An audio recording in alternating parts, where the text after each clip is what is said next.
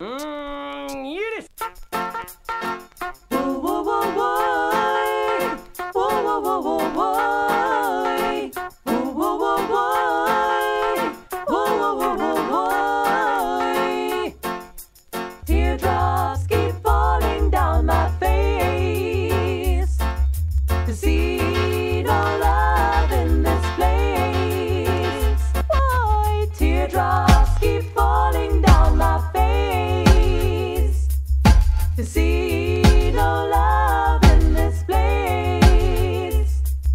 It's up to you and me, the responsibility to stop the fighting, stop the war, and live in love.